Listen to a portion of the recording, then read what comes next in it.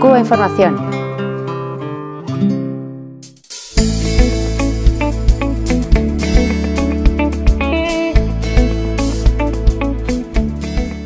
Vídeos grabados en Colombia durante las elecciones del pasado 11 de marzo que muestran una operación de compra de votos no han interesado a los medios internacionales.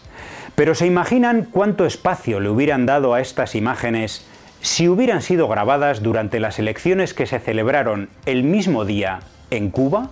Tampoco han llegado a la prensa mundial los incidentes violentos y el toque de queda en la ciudad de Colón, en Panamá, tras las protestas que demandaban servicios decentes de luz, agua, salud y alcantarillado. Pero, ¿a que habría subido bastante el interés informativo de haber ocurrido esto en Venezuela? Sobre Venezuela los medios no solo mienten cada día, además apoyan al gobierno de Estados Unidos en su trabajo de inteligencia, en apoyo al bloqueo financiero a Caracas. Hace unos días el diario español El País marcaba con una cruz a una empresa catalana suministradora de alimentos a Venezuela. El destino de estos eran los llamados CLAP, un sistema de reparto de productos básicos que ha salvado del hambre a millones de personas en aquel país y que hoy es objetivo del bloqueo financiero de Estados Unidos. Recientemente 29 barcos con alimentos para los CLAP tardaban casi tres meses en poder entrar a puerto. Nada, por supuesto, que nos cuente el país. Los canales de televisión españoles jamás han cubierto las manifestaciones en Madrid de apoyo al gobierno de Venezuela.